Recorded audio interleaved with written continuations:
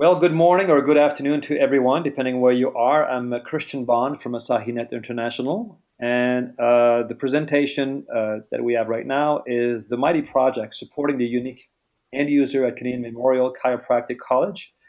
And Rebecca Taylor will be our presenter today.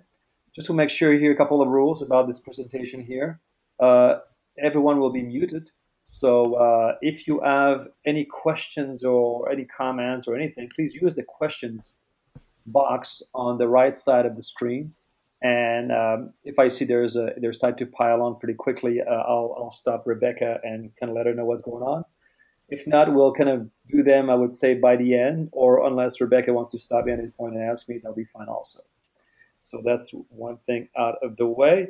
Uh, also, the session is being recorded. So uh, for some reason, if you want to share this information with someone else, Later on, all this will be available on the Apereo YouTube channel. So also the instructions will be on the uh, the website. I'm sorry, the uh, Sakai site uh, for that also. And if you have any problems right now with the audio or video, please just let me know in the questions uh, box. And if everything is okay, I'm gonna let Rebecca take over. It's all yours. Okay, great. Thank you, um, Christian. And yeah, please do stop me if you see a ton of questions coming in. Um, I'll try and remember to stop and ask and see if there's anything happening while I present. So, um, as you said, my name is Rebecca Taylor. I'm the coordinator of curriculum and faculty development at Canadian Memorial Chiropractic College. And I think we'll just get started. So during this session, um, I'm going to first introduce you to Canadian Memorial Chiropractic College, which from now on I will call CMCC because it's a lot easier. Um, and then I'll introduce you to our Sakai instance, which is called Kiro with a K. Um, that's also an acronym, just I guess a fun fact for you, and that stands for Knowledge, Information, Resources Online once you sort of get familiarized to our uh, Sakai and institution context, I'll show you what a standard quote-unquote Kiro or course site looks like um, at our institution. From there, we'll move into more of the meat of the presentation, which is to talk about um, the unique sites that we have here at CMCC and uh, what their purposes and needs are and reasons for existing. And then I'll talk about the challenges with supporting the unique uh, site end user at our institution and finish up by talking about a shifting model of support I'm working towards here as the coordinator of curriculum and faculty development.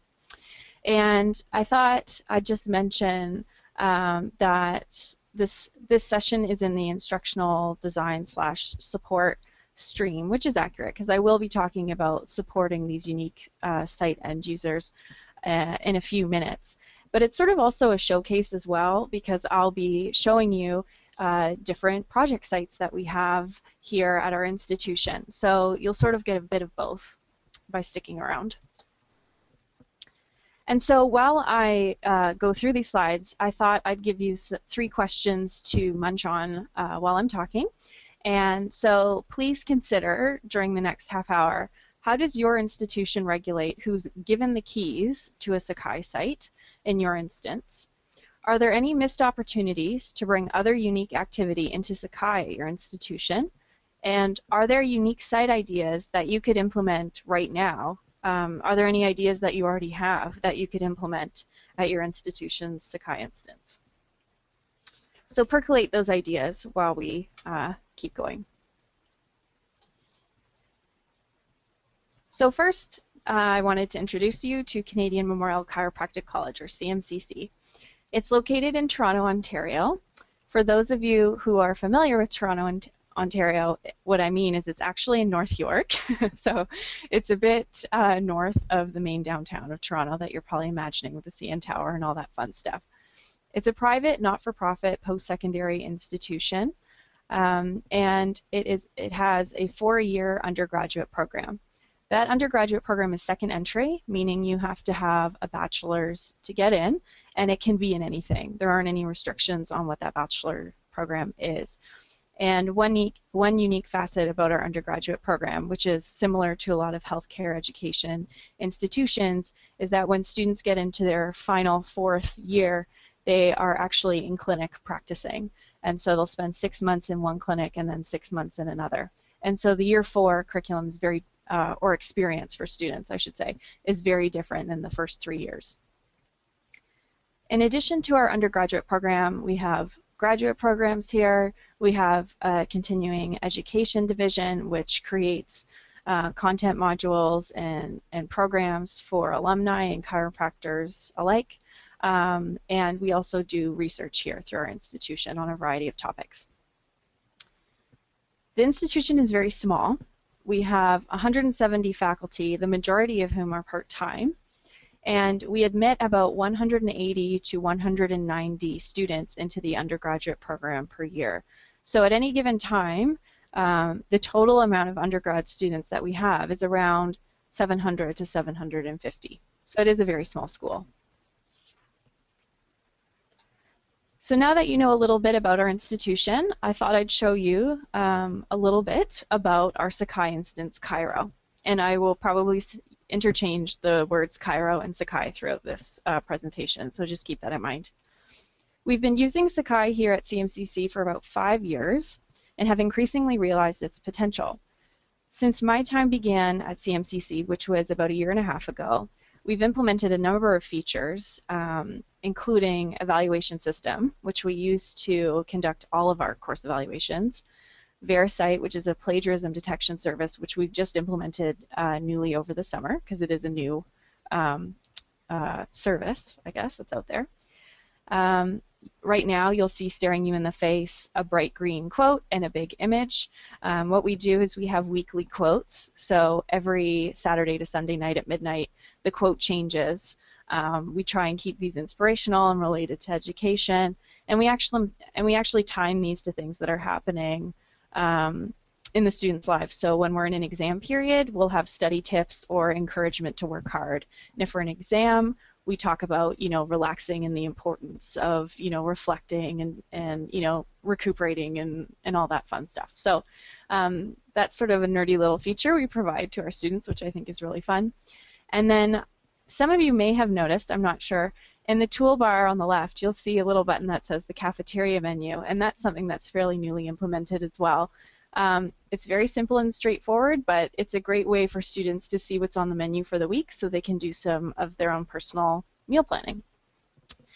Um, so those are some of the things that we've been incorporating into Sakai um, even since I just arrived at the institution. So our use of Sakai is expanding and growing. Um, and personally, as uh, the coordinator of CFD, I have a lot of fun with it. Probably something I should have mentioned a few minutes ago is you probably can't tell from my job title, but the majority of the work that I do is actually with educational technologies. So I train faculty in how to use Sakai at the institution, as well as iClicker and other things. I design e-learning modules that go on Sakai, um, and I implement new things like evaluation system. Um, that was a big project that I undertook in my first year working here. So um, Sakai is my little baby, and I enjoy I enjoy it. All right, so hopefully now you're feeling familiar both with CMCC and Kiro. And so I thought I'd move on um, and talk about the standard course site that we have at CMCC. And so you're looking at one of our many course sites. It's about public health, and it's for year four students or their final year of their undergraduate education. And on their homepage, you see there's a little synopsis about what the course is about. There's an image there what that's supposed to represent the course. Um, and what I want to draw your attention to now are some of these tools here on the left-hand side. And so what we've done for these standard course sites, and this is essentially what makes them standard, is that we have uh, provided guidelines and regulated what tools should be in every course site. And there are six tools that needed that need to be added to every course site, which are announcements, assignments, gradebook resources, syllabus, and tests and quizzes. Um, and just briefly, I'm going to mention the reason for doing that is because our curriculum is, and I guess uh, academic schedule is extremely unique compared to most universities in that students at our institution can be taking up to 21 courses in the same year, and it's not semestered. They're taking all of those courses at the same time, more or less. And so for this, from the student's perspective and for their user experience, we don't want ha to have to force them to learn how to navigate 21 different sites constantly. So we provided these uh, guidelines to help the student experience and to help them, you know, be able to navigate Kiro in an effective way. So uh, as I've already mentioned, we have site guidelines and we also perform auditing before the new academic years start to make sure our course sites are up to par. And we have, in the guidelines, we talk about things that you need to do with your gradebook and you need to do with um, your the organization of your resources tool and stuff like that. In addition to that, uh, we offer, or I personally offer training sessions. And so um, I have drop-ins where you can come in and ask me any old question you want about Sakai. I also offer a session called Kiro Basics where I go over the majority of those six tools that I listed with the exception of tests and quizzes because I have a completely separate training session about tests and quizzes since it's, since it's such a big tool. Um, and so I go over what you need to do to set up your course site and all that stuff. And in addition to that, um, I offer just-in-time support. So in any given week at the institution, um, maybe with the exception of the summer months when it slows down a little bit, um, I'll get a number of just-in-time support requests from faculty. And so um, I'm constantly in touch with the body of faculty we have here, trying to help them improve their use of Sakai and to remind them how to do certain tasks, so on and so forth. So the take-home message from this slide for now is that over time, um, we've put a lot of energy and resources into developing and supporting this standard formula for our course sites. Of course, we'll work with faculty who have ideas for something different they want to do, and we'll work with them to figure out what tools could help them support that. And um, of course, we're happy to facilitate and help implement, you know, different ideas for things they want to do in their course sites. But all of that is built on this foundation that we created to set up um, a standard course site experience. And we'll build on that foundation as necessary and make sure that there's good pedagogy behind it when that happens. However, um, the focus of this presentation is not to get the details about this standard formula, despite the fact I've been talking about it for a couple minutes. Um, I just wanted to give you some context for the coming differences that I'll be discussing. And in fact, I guess just as a future advertisement, if this is interesting to you, um, CF at C or Curriculum and Faculty Development (CFD), we're considering um, putting in an application to present about this sort of standardized course site experience at Apereo 2015. So maybe keep your eye out for that. Before I continue, maybe I'll ask Christian if there's any questions. Yes, we have two questions here. two questions here. Okay. One is, uh, do you use site template to create a standard site? Do we use a site template? Uh, yes. Actually, well, sorry. We do one of two things. If nothing's changed in the back end of Sakai, um, I'll duplicate all the sites myself over the summer months for the next year. So this, the faculty don't have to come in and, and do all these little tasks that we've set out for them every single summer. Um, if we do need to create sites from scratch because of something that's changed, I will make a site template and, and do it that way. Okay. And the other one is, could you please provide more details of providing just-in-time support? Oh, sure. Um, well, it's sort of a free-form format. I mean, um, maybe, maybe, no, I don't think I'll show you that. Okay, anyway, I keep a log of the just-in-time support that comes in. And so, you know, sometimes I'll get a phone call, sometimes I'll get an unexpected knock on the door, a lot of the times I'm getting emails, and um, I'll get questions which range from a lot of typical questions we get are how do I link the PDF course outline to the syllabus tool? Because when we use the syllabus tool, we're not really using it the right way. We're just redirecting the syllabus to look at the PDF of the course outline. So, um, be, and because, as I said before, our uh, course structure isn't semestered. Faculty only have to do that kind of stuff once a year, so it's easy and understandable that they would forget how to do stuff like that. So I get little questions like that. Um, I'll get questions that have to do with troubleshooting issues. You know, this week I was talking to someone who um, who's a student reported that they got a grade in tests and quizzes, but their grade in the grade book wasn't reflecting it. So, you know, help them tr troubleshoot that. Um, and then sometimes there's you know bigger issues that I, I help IT with by doing some maintenance in the back end. And you can't see it, but I'm using finger quotes there because I'm not a developer. I don't code, um, but there's a little there's a little bit that I can do with the administration workspace tool to help support any back end changes. Hopefully that helps answer the question. Has the person clarified anything as I've been talking, Christian? Yep, they're good to go. Okay, great. All right, thanks. Yep, last question. You good? Okay, so I'll continue then. All right, so so far um, I've been talking about the standard sort of course site formula that we have, and of course, as I said, a lot of our energy and resources has gone into supporting that standard formula, but um, as you'll see in this goofy little Camtasia video I made, there's a, a growing list of these project sites here at the bottom. And, you know, we get more and more of those requests every year and, you know, an associated growing demand for support to, to create and maintain those project sites. And so now we're going to be focusing on those. And, um, you know, something to keep in mind about these project sites as we keep going through is that these sites don't fit the standard formula that I just shared with you. They might need a different set of tools um, and do, do not need the annual effort to duplicate or create from scratch because that's like the main baseline dividing thing between a project site and a course site. Project site you create once and you're done. Course site needs to be created fresh every year in our case or semester in a university case. So here are some screenshots of a few of our project sites and hopefully you'll see as I go through them um, that there's here is a here is represented a range of different tools, a range of purposes, and a range of different audiences that we expect to use these sites.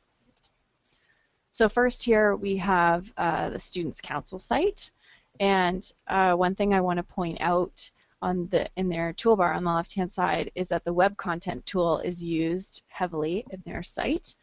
Um, they actually use these tools in a very neat way and that is um, the forms that are linked there by the web content tool are linked to a different uh, software we use here at our institution, Blackbaud NetCommunity, and these forms are filled out by students. Um, Sakai will capture the data and then email it to the appropriate people. So if a student fills out an event an event proposal form, um, it'll capture that data and then email it to um, the proper people and, and talk to Blackbaud NetCommunity with that information as well. So the work for that was done outside of Kiro, but it's integrated into it um, so it appears seamless to students. So that's a pretty uh, neat thing that we're doing with that site in particular. Another example of a project site we have is the best practices for teaching online. Uh, this, this is number one. There's actually two sites, one and two, and I personally built these sites. And the purpose of these is for faculty development because I offer a faculty development session of the same name. And so during that session, I'll send the faculty to the two best practices for teaching online sites. And one of them has all the best practices built into it, and the other one is absent of all of those best practices. So they're supposed to search around the sites and find examples for good teaching practices and, and the opposite. And, and it's, it's a pretty uh, neat experience. And so you may have noticed that um, the list of tools here in this site is very similar to a course site, but that's simply because this is a faculty development session and I want to give them ideas that they can apply to their typical course site context. So I didn't go crazy with adding a bunch of extra tools, although I did add forums, which is not something we consider you know, standard here yet. Another project site that we have is called Personal Counseling. Um, this is actually a subsite um, of student services, and they use this site to disseminate information to students about the personal counseling service they have here, who to contact, how to set it up, and what to expect. And then for this slide, my fourth and final example is um, curriculum and faculty development. And you may notice it says here, welcome to the archive. Oops. That's because this site is, um, the purpose of it is for us to post our slides and resources that we use with any curriculum and faculty development event that we host so faculty can come and download those resources as needed whenever they like. And we have um, not too many tools here In our site, we mainly use resources just to link up the information. And recently I implemented the sign up tool um, so that faculty can come and sign up for the sessions that I offer and CFD offers um, that way. So that's been pretty neat.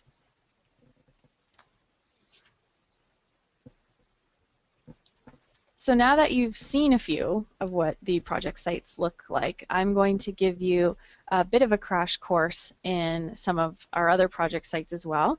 And please note that I've distinguished here between sites for students, which are represented uh, by orange font, and sites for faculty or staff, which are just in typical black font. So I already talked mainly about the, the one main distinguishing feature about the Students' Council site, so I'll pass by that. Um, I mentioned briefly the student services sites, but one thing I haven't mentioned yet about them is that there's one main student services site that all the students have access to, but then there's also one per year, so year one student services, year two student, student services, etc. And so resources that are, you know, really only um, meant for one of the classes of students uh, don't get seen by, by everybody. And so an example of that is um, at the end of the year for year four, folks who want to be valedictorian, um, last year what they did was they filmed videos of their nomination, uh, I guess speeches or whatever, and then the students in the year four student services site could, could go in, watch all the videos, and then from there they'd be able to vote for the valedictorian. So that's a way to keep um, you know, information that might be confidential from year to year from each student body to the next. Um, that's the way they do it currently. And they also have sites, in addition to that, for personal counseling, as you saw. And they have another one called peer tutoring, and that's just linking them to um, peer tutors and information on how to make use of that resource. The next one on the list is the CMCC Knowledge Transfer Site, and that's quite new to our institution. So one of our directors at our institution, he's the director of the year three curriculum of our undergraduate program. He started a LOOC, or a locally open online course, and he's just working on building it now. And the idea for the LOOC is for faculty um, to share new literature that they find with each other. Um, so it doesn't depend, doesn't matter what department they're from. They can share anything that they find, um, and any other faculty will have access to that. And so there's in the resources tool, there's a huge organized, um, you know, structure of folders for all kinds of different topics and themes that relate to the profession, and all the resources are organized that way. And ultimately, one of the main hopes for this LOOC is that um, uh, by faculty engaging with it, curricular discrepancies that exist in our program will be identified and reduced. So that's so that's a very exciting prospect. And um, again, our director is just working on building that right now. So that's an exciting new project that we have. Then we have a number of sites for faculty development. Um, I told you about the best practices for teaching online already. We also have a teacher education program, which is um, the main, or I, maybe the biggest faculty development offering we have at the institution. It's equivalent to a graduate level course where they learn things about um, lesson planning, learning objectives or learning outcomes, and um, you know how to incorporate educational technologies and that sort of thing. So it's a really excellent course, and they use a project site for that. And we also have a site called Kiro Training Program where faculty can access resources related to Kiro, such as the guidelines for setting up your course site, or the slides that I use in a Kiro Basics tutorial, um, that sort of thing. We have reference sites. Kiro Training Program fits that bill. Um, in addition, we have a site related to evidence-based practice resources that faculty can go and access anytime. And in the student interest, there's a really neat site called Everything Radiology, which has self-assessments, useful links, and extra study tools. So um, it doesn't fit the regular course site formula. All the students are in there together, and it's just for their reference so that they can increase their learning about the radiology uh, aspect of the profession. We have sites for quality assurance processes, and this is a unique time at our institution right now because we're actually going through two different kinds of quality assurance at the same time. So uh, PEQAB stands for Post-Secondary Education Quality Assessment Board, and that has to do with the accreditation of the school. So every five to ten years, um, higher ed institutions get you know approved by the government to give out degrees, and so we're going through the process of that right now, and we're also going through the process of um, getting uh, approval, which we also have to do at a regular interval to give out a chiropractic education. So the chiropractic field has to approve us giving out chiropractic education, and that's what the 2015 self-study site is about. And so um, these two sites are under frequent use by um, staff and faculty who are working on these quality assurance process processes together. There's tons of documentation up there, meeting minutes, all that sort of stuff.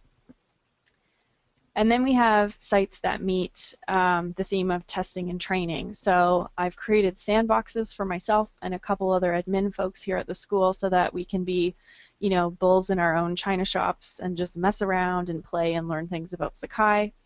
We recently implemented ShareStream at our institution, and so I've made it. I've made training sites for the media services staff to play around and get familiar with Sakai, which they previously hadn't used. And then in this past, you know, three months actually, we've just rolled out Office 2013 to all of the computers at the school. And so the IT department made a Sakai site with reference materials for that. Uh, that any staff or faculty could go look at to get used to Office, the new Office um, programs. And then in the student interest this past summer, uh, a Kiro orientation tutorial site was made um, that really features um, the lessons tool and an e-learning module that we built with Articulate Storyline.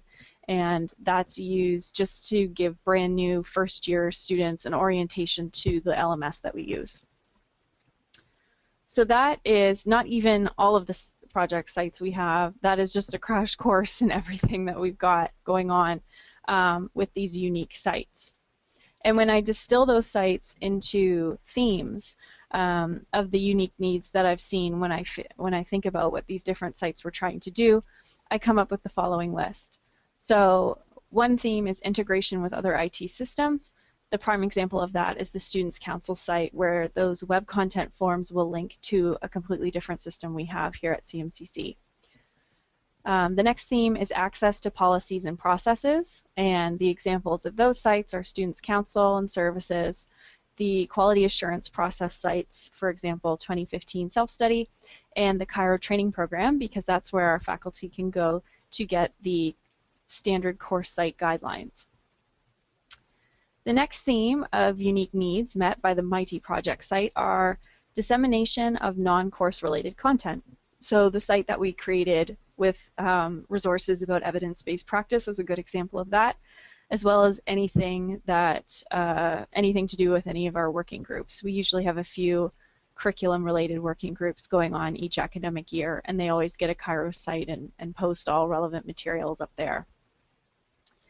Some of our sites um, focuses on outreach, and a lot of those examples have to do with the Students' Council and Student Services sites that exist. But there's actually also one that was made this year called Change Management for staff um, and faculty as well, I'm guessing. Um, our institution went has gone through a great deal of change recently because we just changed presidents, and so this site was part of that change to help support anybody um, who who felt they needed it with with the coming changes. We have sites that are designed for self-directed learning opportunities. Um, a lot of them are already in this themed list slides um, because some of them meet a variety of needs.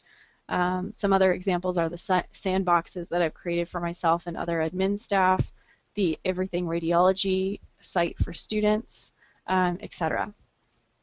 And then the final theme um, of our project sites that we have is for collaboration. And there's lots of student-to-student -student collaboration that can happen in a standard course site. So I'm focusing on faculty-to-faculty, fa collaboration or institution to faculty collaboration. That's something that's uniquely met by our project sites. And a great example of that is the LOOC that's currently being created and uh, various departmental sites that we have, as well as anything to do with our quality assurance processes.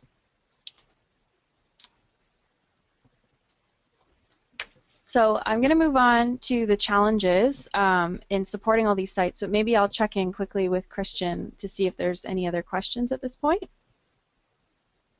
No, we're all clear. We're good to go. Great. Okay, so um, as you can see, we have a variety of themes, a variety of needs for all of our different project sites, and so there's obviously challenges associated with those. So currently, um, as you sort of got a handle on when I was showing you our standard course site formula, the current Kiro training practices we have are focused solely on course sites.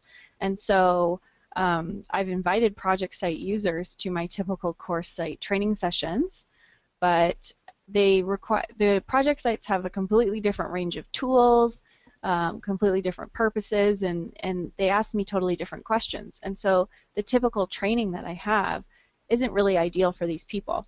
And in fact, the sites that most closely approximate a typical course site setup are the ones that I personally designed for faculty development. So it's not really that helpful for all the other project sites that we have. So, um, and I guess another challenge or the next step of that challenge is that we have um, more and more demand for support by project site users. So although some of them attend the Kiro training sessions I offer that aren't really geared towards them, they're primarily utilizing just-in-time support. So now not only am I getting frequent emails and calls and that sort of thing by faculty with Sakai questions, but I also um, get those kinds of requests from staff and faculty doing unique projects. Um, lately, I've been working really closely with student services to get them into Kiro and helping them design sort of an environment for the students. And that's been that's been really fun to do. And so I I often go and and work with student services which is not at all um, expected I don't think by my uh, job title or description that's primarily focused on faculty development but I enjoy it. And so obviously this has an impact on available resources. And in terms of available resources there's only two people at this institution that provide Sakai support. Um, a fellow who works for IT who has a high level position, and myself. And because of the amount of applications he manages and oversees, a lot of the requests that he gets for Sakai support, he will redirect to me. So a lot of the Sakai, um, a lot of Sakai questions are directed to me, and I love handling it, but we're getting more and more and more. So there's obviously an impact there on my time. And so we've been discussing these challenges for a while and struggling with implementing um, a plan to rectify them, but I thought I'd represent uh, visually for you what our plans are to try and help these, this, these challenges.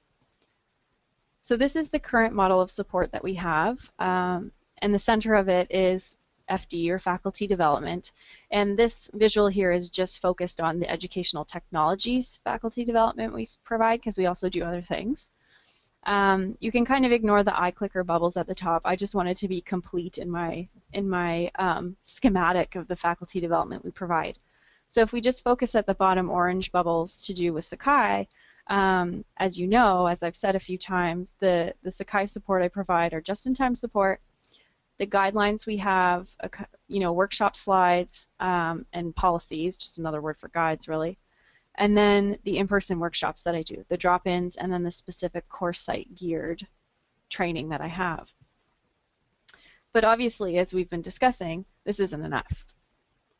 And so this is what I've come up with recently um, to propose the changes that we um, facilitate at our institution. And so what I really think needs to happen is not focus on the term of faculty development, but really think about institutional technology-enabled learning. Um, I'm getting more and more support requests from staff, not just faculty, and I'm happy to provide that support, and it's fun and challenging.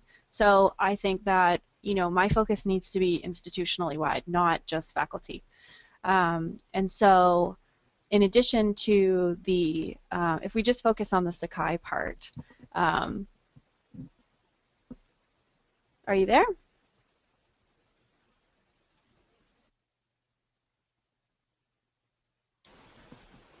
Rebecca? Yeah, I can't hear anything. Oh, there we go. Sorry, everyone, for the pause. Um, Christian, say something if you can't hear me, but I'm going to keep talking now. Yeah. Um, sorry about that. So um, for Sakai, in addition to just-in-time support, um, the guides and stuff, and the in-person workshops, what I need to do is really spend my time, um, you know, adding different kinds of live in-person workshops. And in addition to the course site management training that I already offer and continue to um, reinvent and you know add to, I really need to focus time on creating advanced user training sessions, and that can be faculty or staff. But the questions that I answer there and the focus that I have is not on the standard course site tools, but just on general Sakai management skills um, and stuff like that. And in addition to that, one thing that I think will really help support the unique end user here is an online training program um, that addresses the common, most common questions that I get as a support person and shows how to basic manage your own Kiro site, being whether it is project or a course site. So a lot of the energy moving forward needs to be put into these two new things, the online training program and the advanced user training sessions.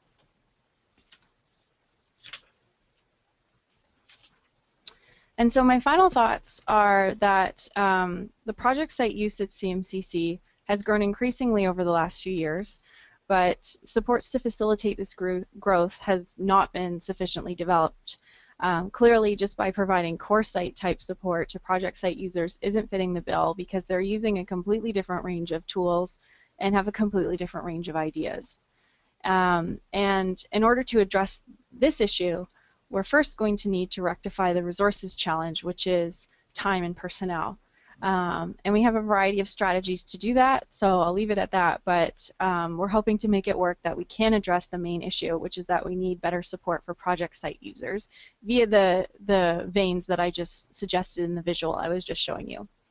And the final thing I just uh, wanted to say is that um, the challenges of supporting, you know, an ever-growing amount of Sakai users at the institution is something I really enjoy, and I'm looking forward to expanding my support institutionally.